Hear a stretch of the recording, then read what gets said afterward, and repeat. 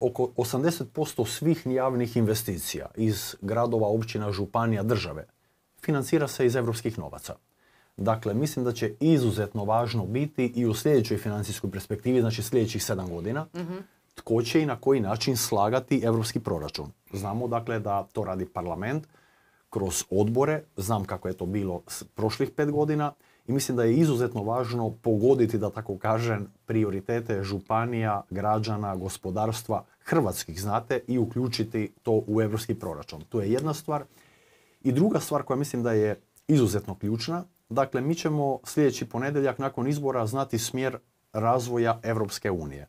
Jer naravno, Europski parlament bira komisiju, jel da? I mi tog desetog nakon izbora znati ćemo u kom smjeru se dalje razvija Europa. I zato po meni su ključni ovi europski izbori i to je jedan referendum o daljnjem smjeru Europske unije.